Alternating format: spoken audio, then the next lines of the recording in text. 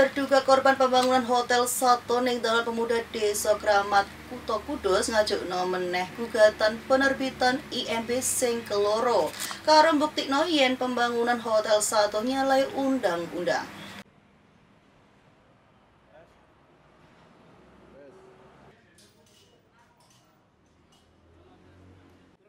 Pengadilan Tata Usaha Negeri Semarang gelar meneh sidang ning tempat kanggo ndelok kebenaran atas gugatan warga karo penerbitan kaping loro surat izin dirikno bangunan Hotel Satu Kudus sing ditokno Bupati Kudus.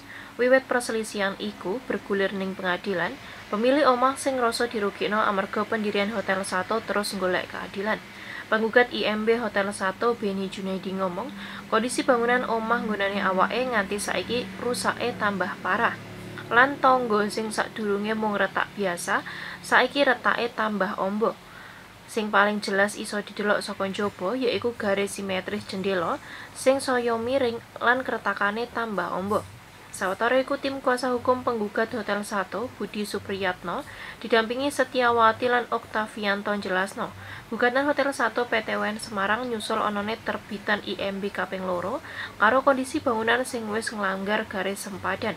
Hal iku jadi ironis amarga Pemkap Kudus wis kudune nindak pelanggaran undang-undang nanging justru norbitno IMB anyar saka IMB sadurunge sing wis digugat lan kudu dibatalno. Kondisi rumah saat ini uh, semakin parah. Hmm. Parahnya bagaimana mas? Uh, banyak timbul lagi keretakan-keretakan sama keretakan yang lama itu malah lebih lebar. Oh gitu. Terus mas ini mengajukan gugatan lagi mas ke kan ya mas? Iya betul mas gugatan lagi. Gimana mas? Kalau mengajukan gugatan lagi kenapa mas? Uh, karena waktu persidangan itu tiba-tiba waktu kita gugat IMB-nya itu tiba-tiba muncul IMB baru. Oh gitu. Terus ini digugat di di PT UN Semarang. Dibatalkan pemerintah Kabupaten Kudus mengeluarkan IEB yang kedua. Itu sudah digugat sama Pak Beni Gunawan. Kemarin sudah selesai, namun putusannya ada terkait tentang penggugat tidak punya IMB. Untuk yang sekarang ini nomor 27 garis miring G garis miring 2023 garis miring PT UN Semarang itu menguji yang IMB yang kedua karena IMB yang kedua itu diterbitkan karena bangunan sudah melanggar garis sepadan, melanggar undang-undang, harusnya pemerintah Kabupaten Kudus melakukan penindakan. Bukannya melakukan pendidikan, malah menerbitkan IMB yang bangunan melanggar undang-undang.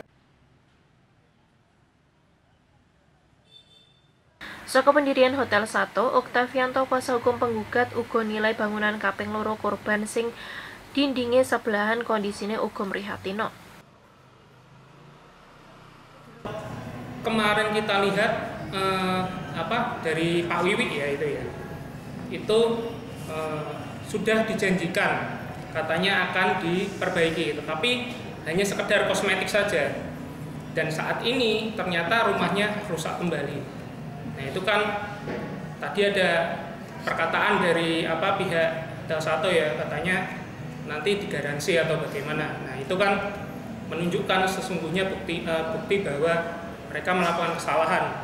Memang benar apa namanya hotel mereka itu bermasalah atau miring bangunannya. Budi Nabano gugatan IMB Hotel 1 karo warga Desa Keramat Kecamatan Kota ngelakukan uji IMB sing dianggap melanggar Undang-Undang Bangunan Gedung Nomor 28 Tahun 2002 yaitu pelanggaran garis sempadan jarak batas jalan lan bangunan sebelah kiwa lan buri nopang dinding warga sing akibatno ana keretakan bangunan warga. Mas Rukin Simpang 5 TV